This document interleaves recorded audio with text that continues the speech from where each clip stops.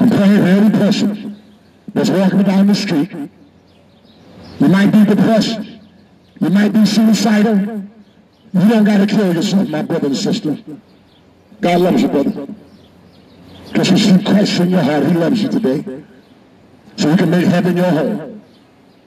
So in case we die, at least there's still a hope. There's still a hope. In case we die, at least when you got Jesus, you're going to heaven to be with him. Well, I don't have Christ, but I'm going to hell.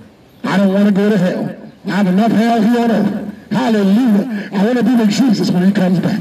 God bless you today. Hallelujah. Glory out of yours. Sis, you might be depressed today. God can give you rest.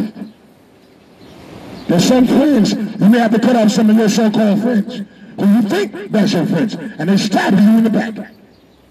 They're jealous of you. They're trying to put a witchcraft on you. They ain't no friend. Jesus can be a friend that will stick closer than a brother.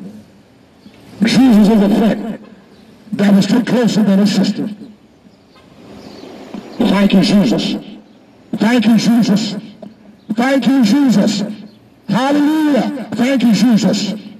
Praise God for the Prince of Peace. Praise God for the Prince of Peace. Not the Prince of Darkness. The devil is busy. As you can see going on in the world. All the hatred that's going on in the world. The devil don't care who he kills. But Jesus said, I